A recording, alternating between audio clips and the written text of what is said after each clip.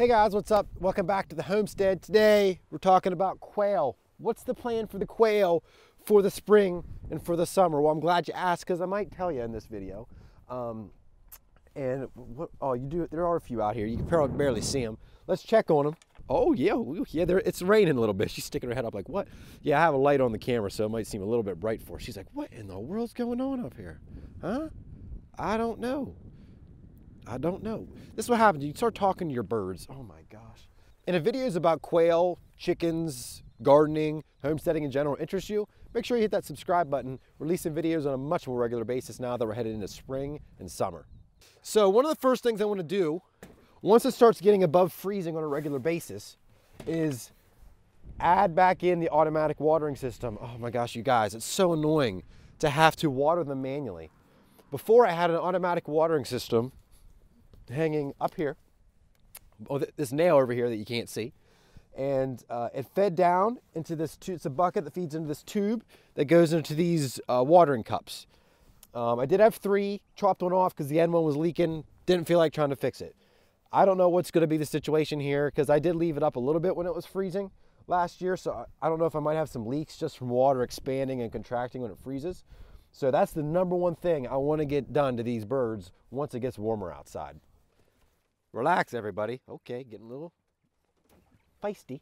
Um, I got a situation because the water's leaking down somewhere, and I, what happens is it gets compacted in here, like it's as hard as a rock. And that's part of the reason why I took out, uh, took off the light, because I don't want them laying eggs in here, and I can't even get them out because they're stuck in the wet sand. Um, the left side seems to be staying dry, so somewhere on this right side, there's water leaking down. And so I might just put tape up along the sides um, with like a, a, line of a marker to see where it's starting. Like if it gets wet, I'm not in the camera. If it gets wet, it starts to bleed down.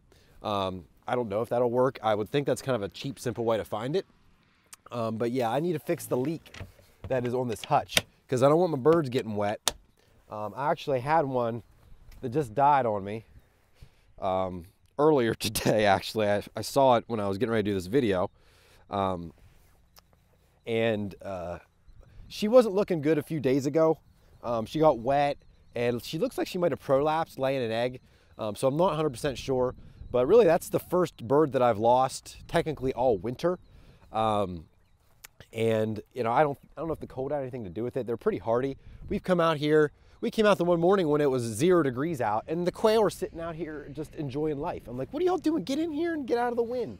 But they do their own thing. Um, so that's something that needs done. We need to get this better waterproofed, make sure water isn't getting in here. Um, that way they have a, definitely a place they can stay dry. And so last year I hatched out some quail.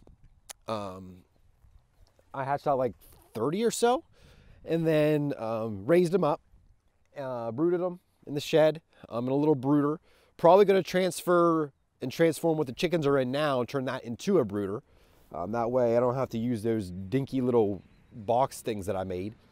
And um, what it, what I did with those quail is some of them are still here. They're intermixed within with the ones that I originally bought as adults.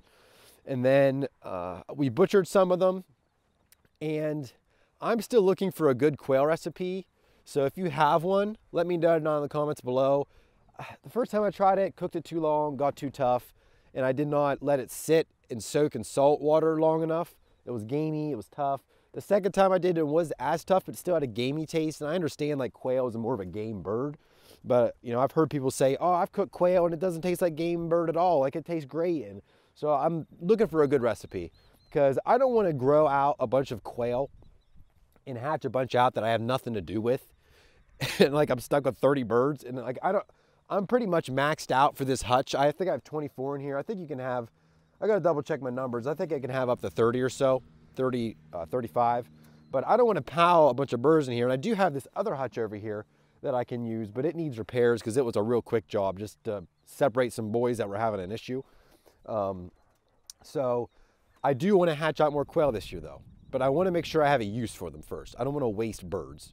Um, or just like set them loose in the wild because they'll die probably on day one. They're so domesticated that they don't know how to do really anything on their own.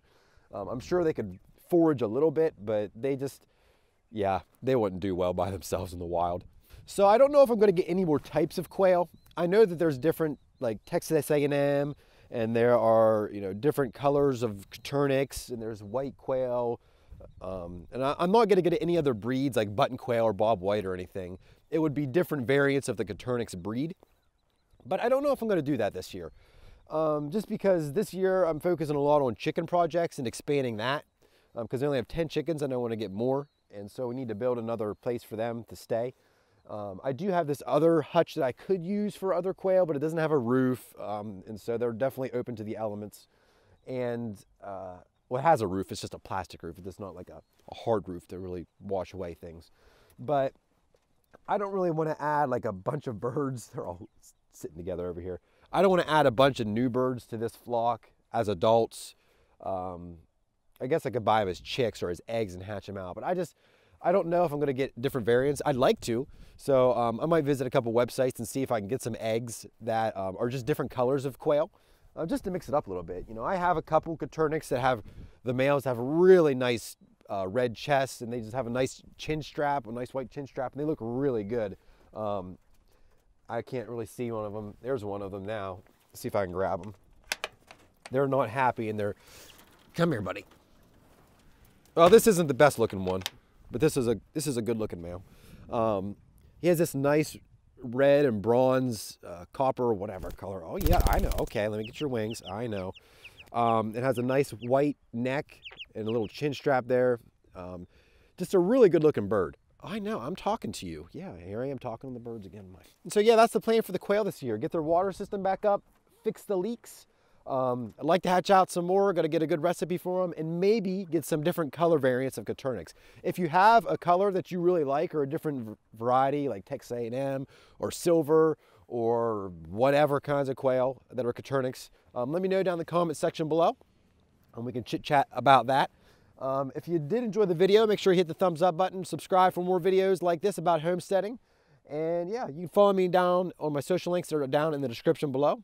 And that's going to be it for this one. It's starting to rain or drizzle or whatever, and my camera's getting wet.